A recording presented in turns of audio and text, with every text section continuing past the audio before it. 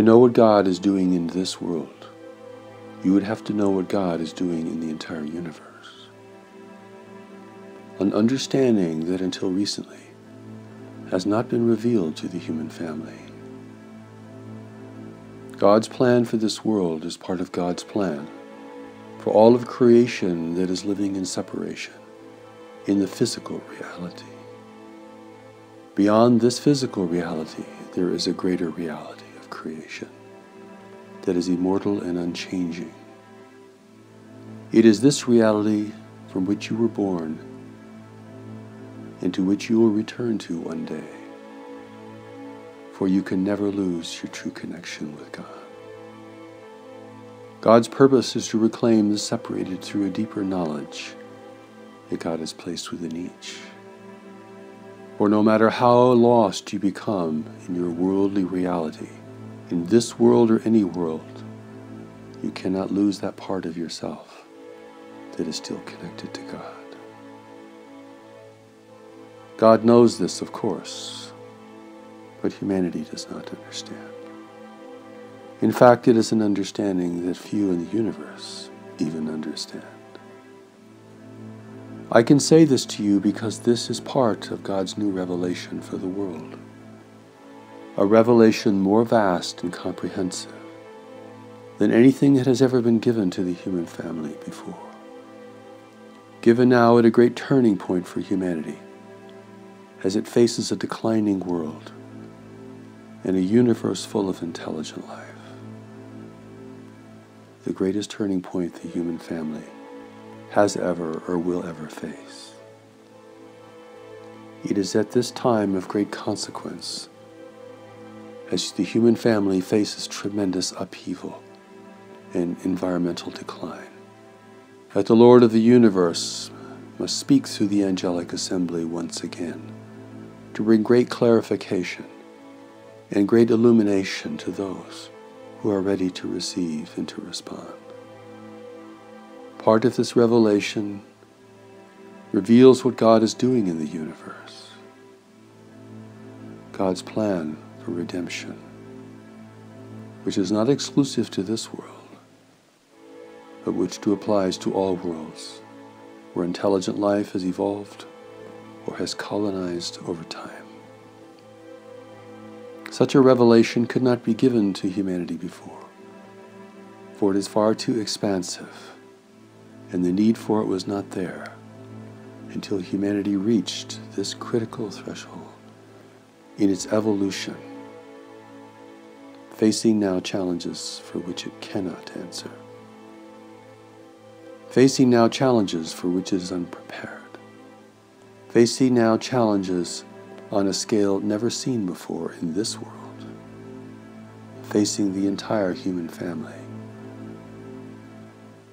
Therefore, God's message now is not for one tribe or group or region, but for all of humanity, to be shared at once as effectively as possible. The messenger has been sent. He has had to build a small core community under grave difficulty, with many challenges to his health and well being. Yet he has spent 30 years receiving the revelation and assuring its purity and its accuracy. For such a revelation cannot be left to future generations to rearrange and to present as they see fit. God's revelation of life in the universe and of God's presence in the universe will have all religions eventually reassessing their fundamental beliefs and position. For much of what humanity believes to be true, or assumes to be true, or has been taught over the ages, will be seen in a very different light as they consider God of a greater community of life. This is a great challenge, but a necessary one.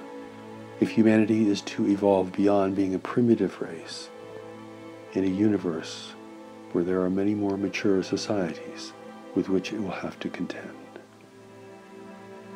It is time now for humanity to end its ceaseless conflicts and to prepare for a world in decline and for intervention from a universe of which it knows nothing at all. God's new revelation for the world, then, is central to humanity's future, safety, and destiny. But to receive something of this magnitude and this comprehensiveness will require many things to be reconsidered. For to understand what God is doing in this world, you must understand what God is doing in the entire universe. And this is wisdom and revelation that has not been given to the human family until now. Recognize the need for this, and you will see why God has spoken again.